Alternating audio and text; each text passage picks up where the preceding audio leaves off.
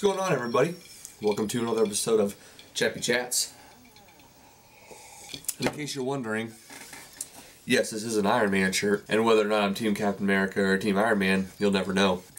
Iron Man. So, let's go ahead and dive into stuff.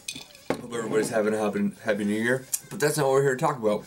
We're here to talk about some of my pet peeves and some other people's pet peeves. Driving slow. What's the point in that? You're trying to get to where you're going, why don't you go the speed limit? If I'm coming up to you and you're going like seven and a half miles an hour and the speed limit is 35, I want to go 35 to 40. When you're on the highway, driving slow in the left lane. What's the point in that? I'm in the right lane and I want to pass people in the left lane so I can go faster. But you're driving the left lane, going slow as heck. I can't get over because there's a guy on my right side and you're in front of me. Now I'm stuck. Where do I go? You have the option to move out right to the right lane. Do you? You don't talking too close, talking too loud. Disrespect's kind of just a general one, I think. Feet. I don't like feet. People talking over you. Um, why? Is what you're gonna say is like that much more important than what I'm saying right now? Can you wait at least like 10 seconds for me to finish what I was gonna say? So why don't you just let me finish? I don't know. Like, is what you're gonna say more important than what I'm saying? Probably completely off the topic anyway. Next one. Not using your turn signal. Most of these are traffic related.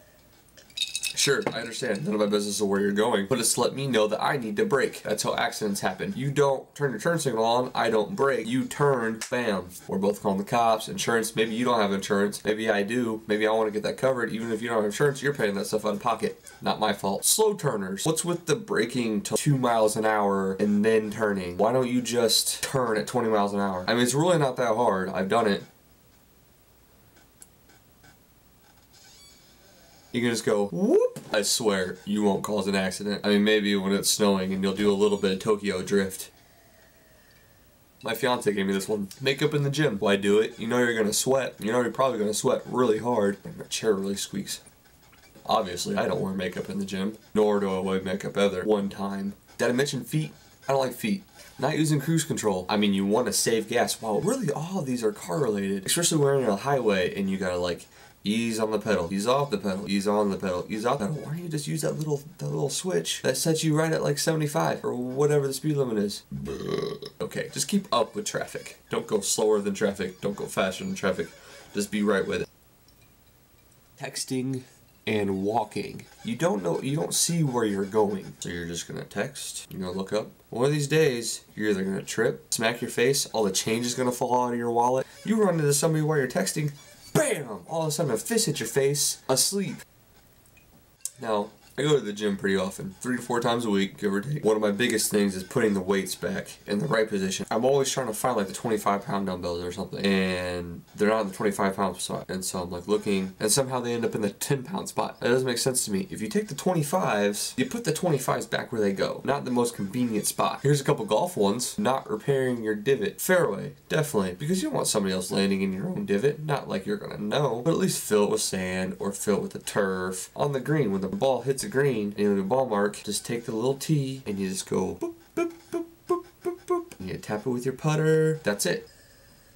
One other thing is not speaking your mind. I really think people hold back things, and it's okay because there's a certain line that you don't need to cross where it's rude anymore. If you're thinking of saying something rude, don't say it. Be honest with people. Hold back to a certain degree to where it's not rude. Speak your mind and don't speak your mind. There's a gray area, but draw the line somewhere in there.